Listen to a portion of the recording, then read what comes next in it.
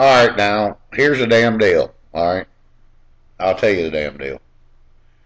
I live in Alabama, and I own a damn chicken farm.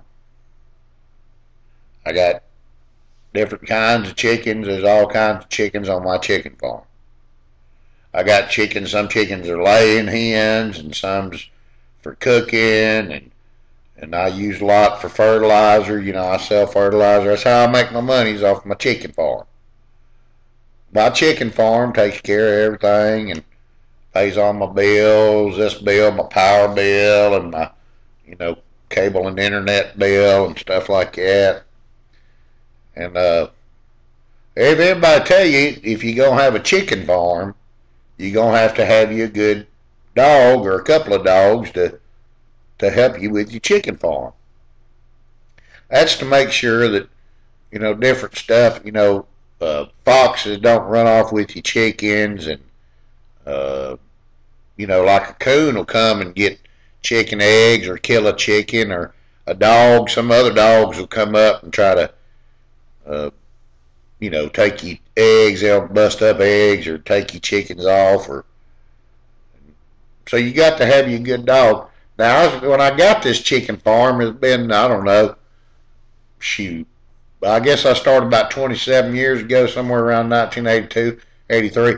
And when I got the, the first dog I had back then was a, a damn good one. He's a damn good chicken dog. He, he kept all the stuff away, and we all made money. Everybody was happy. And, and then he went away. I've had a couple other chicken dogs, but here lately, see about I don't know, shoot, eight nine years ago, I got I got new. I had to get a new dog because my other one uh, ran off, and uh, he was a good dog when I first got him, but he he got a hold of some damn coons one day. Uh, some coons come down there and messed up a bunch of stuff, boy, just about ruined my chicken farm.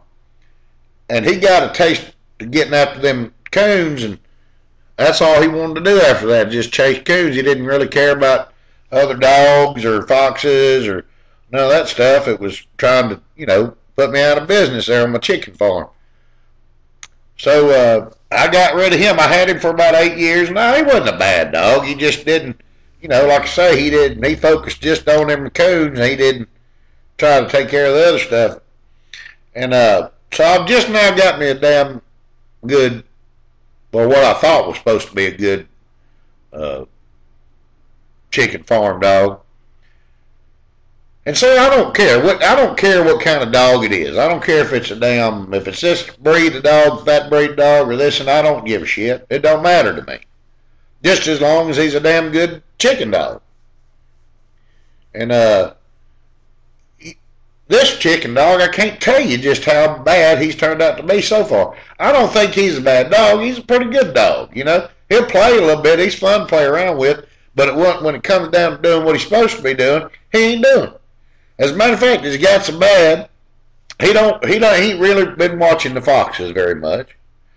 Um, the coons have just, you know, uh, been put on the sideline there. He ain't really concentrating on them coons at all.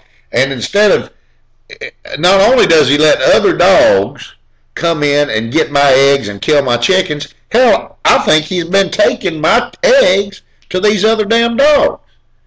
I believe he's been going up a hill there and having sex with this old bitch dog, bringing eggs to her. And my neighbor, uh, I think he's got a damn old gay dog. And I think my dog's been hanging around with that damn gay dog, damn bringing him shit.